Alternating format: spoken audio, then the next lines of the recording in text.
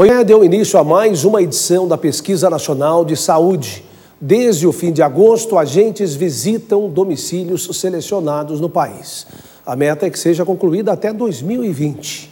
Está se exercitando, se alimentando direito? O IBGE quer saber.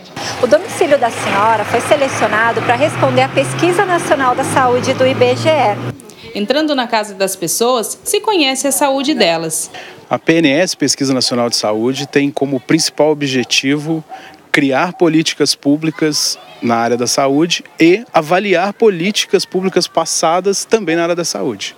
Por segurança, os agentes são identificados com crachá e equipamento eletrônico.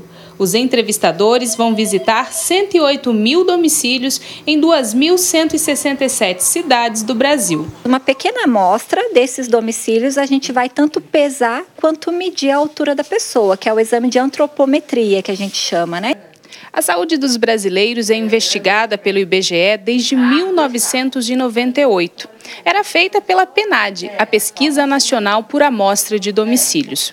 Em 2013, houve um desmembramento e surgiu a Pesquisa Nacional de Saúde. Essa, então, é a segunda edição com um questionário próprio. Agora, bem mais amplo.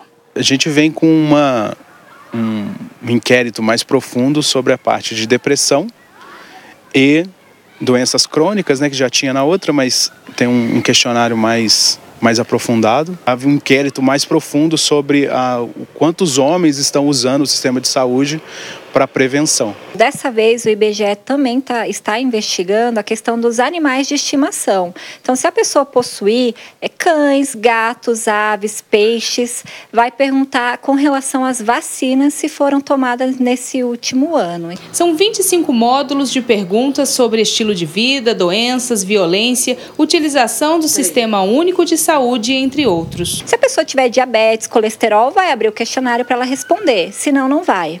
Então, para cada um vai responder um questionário um pouco diferente. A Pesquisa Nacional de Saúde ocorre a cada cinco anos. É realizada pelo IBGE em parceria com o Ministério da Saúde e da Organização Internacional do Trabalho. E essa entrevista aqui está sendo rápida? Como está sendo o atendimento dela? Rápido. Rápido, né? Isso. Os dados confidenciais são apenas para estatísticas. O perfil da saúde do brasileiro será divulgado a partir de 2021.